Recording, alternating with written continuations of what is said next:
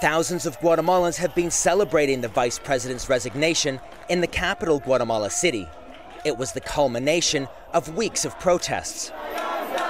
Anger and frustration that had been directed towards Roxana Baldetti and the ruling party was replaced by chants, cheers, and firecrackers.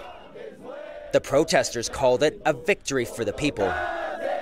Baldetti's resignation was announced by President Otto Perez Molina. He said it was a brave decision. The Vice President, after talks in which we analyzed what was taking place in the country, I reiterate, courageously made the decision to present her resignation. And what I think is that everything has its time. There are processes here which I insist should be followed.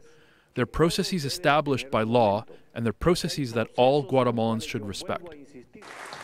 Baldetti's former private secretary is alleged to have been the ringleader of a corruption scam in which officials took bribes to lower customs duties.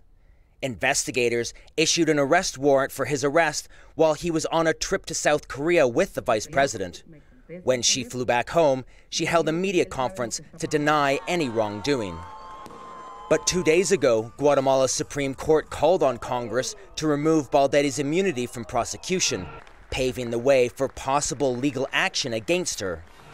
Other senior officials have also been implicated in the bribery ring, including the head of Guatemala's tax authority. President Otto Perez Molina was elected in 2011 on the promise of fighting crime with an iron fist.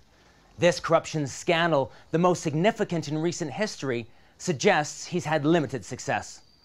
Molina isn't standing for office this time, but with just four months before presidential elections, some fear that damage to Guatemala's ruling party has been done. Its presidential candidate has withdrawn from the race, and some protesters are calling for President Molina to resign too. David Mercer, Al Jazeera, Guatemala.